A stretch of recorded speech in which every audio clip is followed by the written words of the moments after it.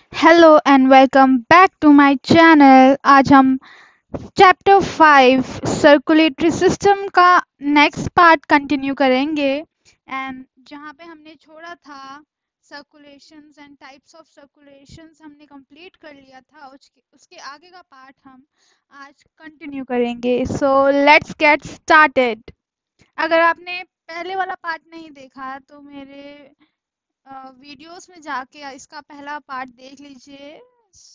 And आज हम बाकी कंटिन्यू कर रहे हैं।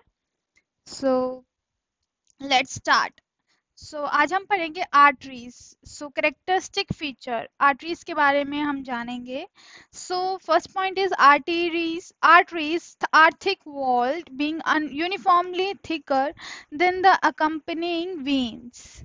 जो आर्टरीज होती है ना वो वेन्स के कंपैरिजन में थोड़ी मोटी होती है। Okay except for the arteries within the cranium and vertebral canal where these are thin और uh, कुछ जगह हैं कुछ एक्सेप्शंस हैं जहाँ पे आर्टरीज थिन होती हैं बट मोस्टली आपको थिक मिलेंगी। ठीक है? उसकी जो वॉल होती है वो थिक होती है। सो so, अगर आप देखते हो क्रेनियम में या वर्टिब्रल कैनाल में तो ये जो आर्टरीज हैं वो कंपेरेटिवली थिन प्रेजेंट होंगी। Their lumen is smaller than that of accompanying veins. और इनका जो ल्यूमन होता है मीन्स अंदर का जो घेरा होता है इनका ब्लड वेसल का। सो so, uh, वो थोड़ा स्मॉल होता है कम होता है देन अकम्पनिंग वेन्स अगर हम कंपैरिजन करें वेन्स से तो। Arteries have no valves arteries में कोई वॉल्स नहीं होती हैं बट वेन्स में होती हैं। fourth is an artery is usually accompanied by veins and nerves and the three of them together form the neurovascular bundle which is surrounded and supported by a fibroareolar sheath so जो neurovascular uh, bundle होता है ना उसमें artery veins and nerve ये तीनों आ जाते हैं और बेसिकली जो आर्टरी है वो एक न्यूरोमस्कुलर न्यूरोवैस्कुलर बंडल में प्रेजेंट होता है एंड uh, उसके बाहर uh, उसको कवर करता है fibro areolar sheath so types of arteries and structure so हम आर्टरीज के टाइप्स पढ़ेंगे और उसका स्ट्रक्चर पढ़ेंगे.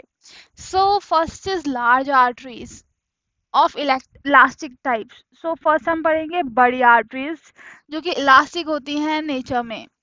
Example aorta and its main branches जैसे एग्ज़ाम्पल है एओटा उसकी ब्रांचेस ब्रांचेस के नाम भी दिए हुए हैं। यहाँ पे brachiocephalic, common carotid subclavian common iliac and pulmonary arteries second point medium and small arteries are of muscular type और जो मीडियम और स्मॉल आर्टरीज होती है ना, वो मस्कुलर टाइप होती है। सबसे फ़र्स्ट लार्ज आर्टरीज जो है वो इलास्टिक टाइप है देन मस्कुलर टाइप है एंड स्मॉलेस्ट आर्टरीज भी मस्कुलर टाइप है, जिनको एरियोल आर्टरीरियोल्स बोलते हैं। सो सेकेंड पॉइंट अगर हम देखें तो medium and small arteries of muscular type example temporal occipital radial and popliteal arteries यहाँ पे एग्जाम्पल्स भी दे रखे हैं। एंड थर्ड हम देखें smallest arteries of muscular type are called arterioles they measure 50 to 100 micron in diameter उनको जब हम मेजर करते हैं तो 50 टू 100 माइक्रोन होता है उनका diameter arterioles divide into terminal arterioles arterioles जो है स्मॉलर आर्टरीज वो जब डिवाइड करती हैं तो टर्मिनल आर्टीरियोल्स बनाती हैं जिनका डायमीटर 15 टू 20 माइक्रोन होता है एंड हैविंग वन और two layers of smooth muscle in their walls और uh, उनका जो लेयर होता है उसमें एक या दो smooth layers of smooth muscle present होती हैं okay okay. The side branches from terminal arterioles are called meta arterioles और जो side branches होती है ना terminal arterioles में से भी उनको बोलते हैं meta arterioles which measure जिनका measure होता है 10 to 15 micron at their origin and about 5 micron at their termination uh, meta arterioles का जो डायमीटर है वो मेजर होता है fifty ten to fifteen at their origin जब वो स्टार्ट हो रही है टेन टू फिफ्टीन की डायमीटर की होती है, लेकिन धीरे धीरे आके जब वो टर्मिनेशन पे आते हैं ना तो और पतली होने लग जाती हैं। सो फाइव माइक्रोन रह जाता है ऐसे वो उसका diameter so the terminal narrow end of meta arteriole is surrounded by a pre capillary sphincter and जैसे आप इसमें देख सकते हैं कि जो टर्मिनल नैरो एंड है मेटा आर्टीरियोल का वहाँ पे प्री कैपिलरी स्फिंक्टर्स होते हैं ठीक है? जो कि रेगुलेट करते हैं blood into the capillary bed blood को वो बेसिकली रेगुलेट कर रहे हैं कैपिलरी बेड में ठीक है? सो so, ये कैपिलरी बेड बता रखा है between arteriole and venule so this is venule and this is shunts shunts हमने पढ़ा था क्या होता है? Then capillaries metarterioles arterioles so shunt अगर आप भूल गए तो मैं बता देती हूँ it is the communication between the arteries और बिटवीन आर्टरीज एंड वेन्स और between veins okay. It is important to know that the muscular arterioles are responsible for generating peripheral uh, resistance. So ये पता होना चाहिए कि जो muscular arterioles हैं वो responsible हैं peripheral resistance को generate करने के लिए and thereby regulating the diastolic blood pressure. और इसलिए वो uh, diastolic blood pressure को भी regulate कर रही हैं ठीक है। Microscopically all arteries are made up of three coats so basically अगर माइक्रोस्कोपिकली माइक्रोस्कोप के लेवल पे अगर हम देखें जो आर्टीरियल्स हैं वो उसकी तीन कोड्स होती हैं। ठीक है। Means three layers type three layers मान लो। ठीक है। सो so, uh, सबसे इनर कोट है उसको ट्यूनिंगा ट्यूनिका इंटिमा बोलते हैं। देन मिडिल को ट्यूनिका मीडिया एंड आउटर को tunica adventitia the inner coat is called tunica intima the middle coat is called tunica media and the outer coat is called tunica adventitia so it is the strongest of जो tunica adventitia है, उसके बारे में बात कर रहे हैं। So it is the strongest of all coats ये सबसे स्ट्रॉन्गेस्ट होती है, सबसे बाहर वाली coats and merges with the perivascular sheath और perivascular sheath के साथ जुड़ी हुई होती है the relative thickness of the coast uh, coast uh, the relative thickness of the coats and the relative uh, proportion of the muscular elastic and fibrous tissue vary in different types of arteries इनका proportion कितना है muscular का elastic proportion कितना है fibrous tissue कितना है तो ये डिफरेंट वेरी करता है अलग अलग आर्टरीज में। कहीं पे मस्कुलर टिश्यू ज़्यादा हो सकता है कहीं पे इलास्टिक टिश्यू ज़्यादा हो सकता है कहीं पे फाइब्रस टिश्यू ज़्यादा हो सकता है। ठीक है इस टाइप से वो प्रेजेंट हो सकता है। सो so, डिफर करती है ये चीज़। आप इस पिक्चर में देख सकते हैं। सबसे अंदर वाली ट्यूनिका इंटिमा सो so, अगर आप देख सकते हैं this is this one is tunica intima then tunica media ये वाली layer then tunica adventitia this this one ठीक है? सो या if any doubts you can comment in the comment section. Okay so blood supply of arteries so अब हम पढ़ेंगे arteries की blood supply the large arteries of more than one millimetre diameter ऐसी arteries जिनका one millimetre diameter से ज़्यादा है are supplied with blood vessels उनकी जो सप्लाई होती है वो ब्लड वेसल्स से होती है द न्यूट्रिएंट वेसल्स कोल्ड वैसा वैसोरम। जो न्यूट्रिएंट्स वेसल्स होती है, उनको बोलते हैं vasa vasorum. From a dense capillary network in the tunica adventitia और डेंस कैपिलरी नेटवर्क के थ्रू ये न्यूट्रिएंट मिलती हैं इन वेसल्स को, वो जो कि प्रेजेंट होता है ट्यूनिका एडवेंटिशिया में। And the supply of the adventitia and supply the adventitia और वो सप्लाई करता है एडवेंटिशिया को and the outer part of the tunica media को, और ट्यूनिका मीडिया के आउटर पार्ट को। ठीक है। The rest of the vessel wall tunica intima and the inner part of the media is nourished directly by the diffusion from the luminal blood और जो tunica intima और inner part of media है ना वो उसको directly lumen में जो blood है उसके थ्रू डिफ्यूजन से डायरेक्ट न्यूट्रिएंट्स मिल जाते हैं। माइन्यूट वे वेन्स लाइक मैं एग्जांपल बता देती हूँ यहाँ पे ड्रॉ करके uh, एक मिनट जैसे ये आपकी एक, ठीक है, ये आपकी एक वेसल है राइट इसमें थ्री लेयर्स हैं सपोज़ ठीक है? तो जो आउटर लेयर है ना, वहाँ पे वैसा वेसोरम से सप्लाई आ रही है आउटर लेयर और मिडल लेयर का आउटर पार्ट लेकिन जो इनर लेयर है ट्यूनिका इंटीमा और inner part of tunica intima उस, उसको जो ल्यूमन का जो ब्लड है ना, वही सप्लाई कर देता है उनको।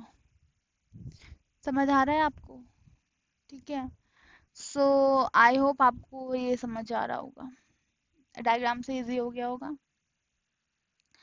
ओके ठीक है।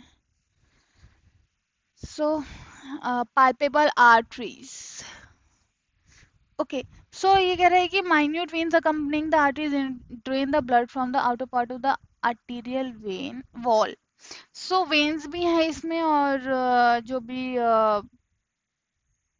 वहाँ से डीऑक्सीनेटेड ब्लड है वो वहाँ से रिमूव हो जाता है। So lymphatics are also present in adventitia और ट्यूनिका एडवेंटिशिया में लिम्फेटिक्स भी प्रेजेंट है। पाल्पेबल आर्टरीज अब पाल्पेबल आर्टरीज आर्टरीज की पाल्पेशन के बारे में थोड़ा पढ़ते हैं। Some arteries can be palpated through the skin कुछ आर्टरीज जो होती हैं वो स्किन के थ्रू पाल्पेट की जा सकती हैं। These are common carotid for example common carotid artery facial artery brachial artery radial artery abdominal aorta posterior tibial dorsalis pedis so ये पाइपेबल आर्टरीज uh, का यहाँ पे एग्जांपल्स विद डायग्राम दे रखा है कि ये जो आर्टरीज हैं बेसिकली ये पाइपेबल हैं नेचर सो कॉमन कैरोटिड आपकी नेक के पास then brachial artery radial artery arm forearm then abdominal aorta then femoral artery popliteal artery dorsal uh, posterior tibial artery and dorsalis pedis artery. So these arteries are palpable and uh, आप भी अपना free time में इन arteries को palpate करके देख सकते हैं। So and also ये भी कंपेयर कर सकते हैं कि कौन सी आर्टरी ज़्यादा अच्छे से पालपेबल है एंड सो इट्स बेटर आपको पाल्पेशन अच्छे से आएगा अगर आप इस चीज़ की प्रैक्टिस करते हैं तो। नर्व सप्लाई ऑफ़ आर्टरीज अब अभी हमने पढ़ा blood supply of arteries nutrient supply of arteries अब हम पढ़ेंगे nerve supply of arteries so the nerve supplying an artery are called nervi vascularis so nervi vascularis जो है वो नर्व सप्लाई करता है आर्टरी को. The nerves are mostly non myelinated जो नर्व होते हैं वो मोस्टली नॉन माइलिनेटेड होते हैं सिंपैथेटिक फाइबर्स होते हैं विच आर वेसोकंस्ट्रिक्टर इन फ़ंक्शन और जो नर्व्स होते हैं, वो वेसोकंस्ट्रिक्टर होते हैं फ़ंक्शन में मींस ब्लड वेसल्स को कंस्ट्रिक्ट करवाते हैं।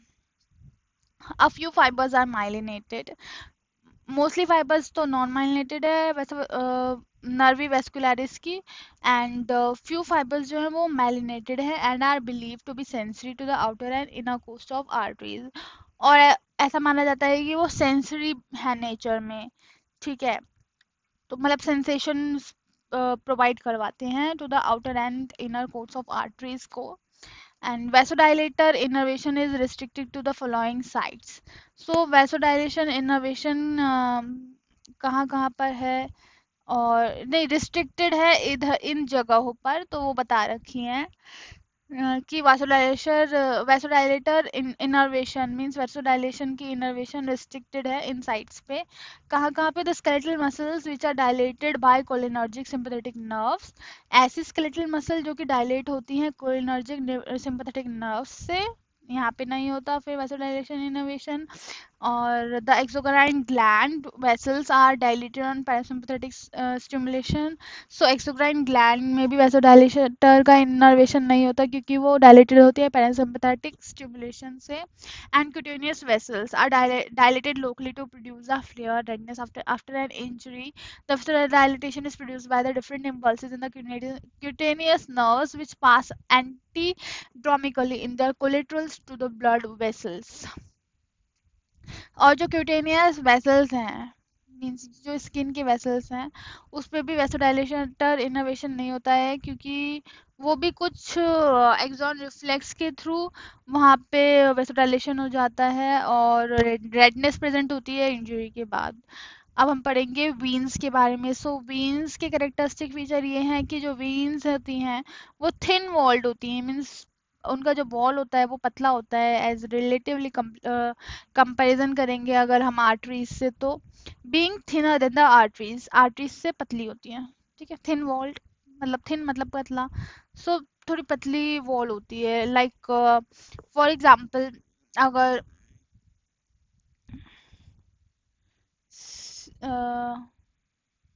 सी uh, अगर हम आर्टरीज की वॉल देखें तो इतनी होगी एंड अगर हम वेन्स की वॉल देखें तो इतनी होगी ठीक है? सो so, ये देखो ये कितनी मोटी है ना वॉल और ये देखो ये ये जो वॉल है कितनी पतली है। So thin walled walls okay so and lumen पता है आपको क्या होता है? सो so, जो अंदर का पोर्शन है इसको बोलते हैं ल्यूमन ये वाला पोर्शन ये वाला जो ये ये पोर्शन है इसको ल्यूमन बोलते हैं यहाँ पे ब्लड फ्लो करता है. ठीक है so this is the lumens और वॉल्स वॉल्स का मतलब है जो वेन्स होती है ना सिर्फ़ उसमें वॉल्स प्रेजेंट होती है. जैसे ये क्योंकि एंटी ग्रेविटी उसको ब्लड पंप करना होता है. तो ये वॉल प्रेजेंट होती है जो ब्लड ऊपर पंप होता है। तो जब अगर यहाँ पे आ गया सपोज़ ब्लड ठीक है, यहाँ पे आ गया तो जिससे कि फिर वो ये बंद हो जाती है। और सिर्फ़ तभी खुलती है जब ब्लड पंप होता है, जब हार्ट पंप होता है तभी खुलती हैं, ताकि नीचे का ब्लड ऊपर जाए और यहाँ का ब्लड और ऊपर जाए। जिससे कि वो ब्लड वापस नीचे को ना आए नीचे को नहीं आए सिर्फ़ ऊपर ऊपर को जाए वन वे डायरेक्शन में। सो so, इसलिए आई होप आपको क्लियर हुआ होगा। एंड अगर अभी भी डाउट है तो आप कमेंट uh, सेक्शन में कीजिए। मैं उसका एक पर्टिकुलर वीडियो बना के आपको समझा दूँगी। कोई दिक्कत नहीं है। ठीक है? So their lumen is larger than that of the accompanying arteries इनका ल्यूमन जो है वो लार्जर होता है देन आर्टरीज के कंपैरिजन में वीन्स है वॉल्स इस वीन्स में वॉल्स होती है जो कि इंडेक्शनल फ्लो में हेल्प करती है मेंटेन करती है इवन अगेंस्ट ग्रेविटी ग्रेविटी के अगेंस्ट भी. और जो वीनस प्रेशर होता है वो कम होता है seven M M H G होता है. The valves are of utmost value in the venous return और जो वॉल्स हैं, उनका बहुत फ़ंक्शन होता है वीनस रिटर्न में। However these valves are absent लेकिन जो वॉल्स होती है, वो एब्सेंट होती है किस किसमें? In veins of less than two millimetre diameter ऐसी वेन्स में जिनका जो डायमीटर है, वो लेस देन टू मिलीमीटर है। इन वीना कावा में वीना कावा में भी एबसेंट होती हैं। इन द हिपैटिक रीनल और इन इन वीन्स में भी एबसेंट होती है। किस किसमें? Hepatic vein renal vein uterine vein ovarian vein cerebral vein spinal vein pulmonary vein and umbilical veins ठीक है? इन सब में एबसेंट होती है। Valves The muscular and elastic tissue content of the venous walls is much less than that of arteries और जो muscular और elastic tissue content होता है वो veins में बहुत कम होता है as comparison to arteries and this is directly related to the low venous pressure और इस वजह से जो venous pressure होता है वो low होता है ये हमने पहले देख लिया था palpebral arteries का and uh, larger veins have dead space around them further dilatation and larger veins जो होती हैं उनके पास डेड स्पेस होता है ताकि वो वहाँ पे डायलेशन कर सकें।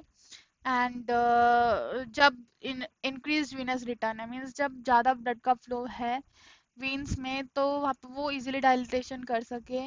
The dead space commonly contains the regional lymphatic nodes और डेड स्पेस जो है वो रीजनल लिम्फेटिक नोड्स वहाँ पे प्रेजेंट होते हैं।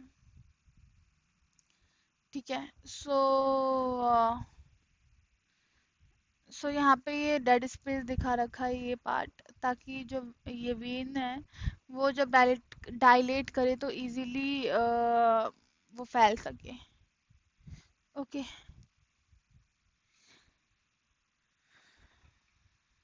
okay so structure of veins हम नेक्स्ट वीडियो में कवर करेंगे एंड उससे रिलेटेड कुछ क्लिनिकल अनाटमी एनास्टोमोसिस के बारे में साइनोसॉइड्स कैपिलरीज के बारे में and differentiate differentiate between arteries and veins के बारे में भी हम नेक्स्ट वीडियो uh, में बात करेंगे। अगर आपको मेरी ये वीडियो अच्छी लगी तो वीडियो को लाइक करें कमेंट करें। कोई भी डाउट है तब भी कमेंट करें। वीडियो कैसी लगी आपको वो भी बताएँ। एंड और वीडियोस पाने के लिए इस तरह की मेरे चैनल को सब्सक्राइब करें एंड मेरी वीडियोस को लाइक करें। Thank you so much for watching my video bye